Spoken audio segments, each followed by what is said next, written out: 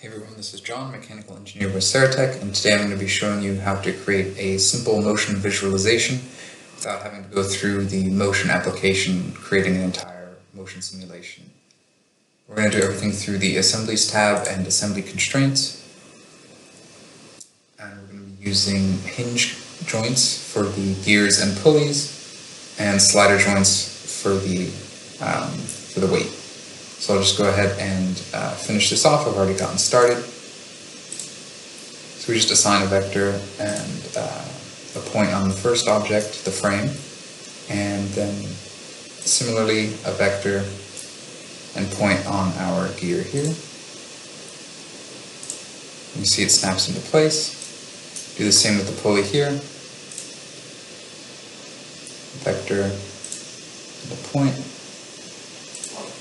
vector and a point with the joint. And then we can use a slider joint for our weight. So we can use any vertical uh, line for that. And the point will be this tip here. Similarly for the weight, any vertical line will do. And we're going to center it around that point. So we break the joint.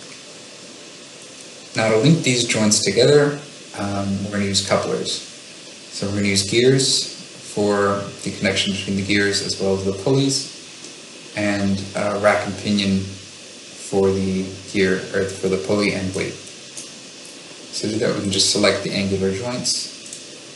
Now these are the same size, so we keep the ratio at one.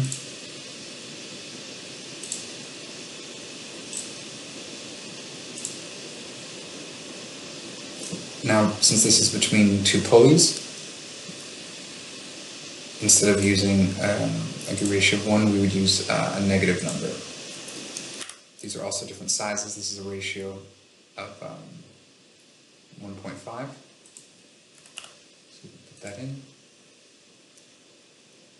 And between these two pulleys, they are the same size, but we keep that negative. And then we use the rack and pinion so we select the linear joint and the angular joint. Now the radius of this pulley, I know, is 75 millimeters. And since this is um, it's a pulley and so the uh, gear system, can use that uh, negative as well.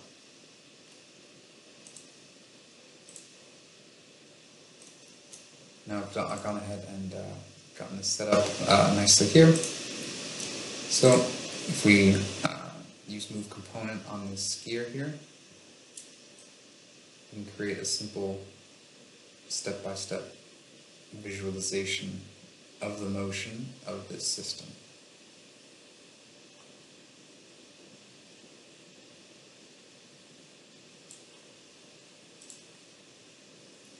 Thank you for watching. Thanks for checking out our channel. If you like what you saw, make sure to like and subscribe down below so you don't miss out on any new videos.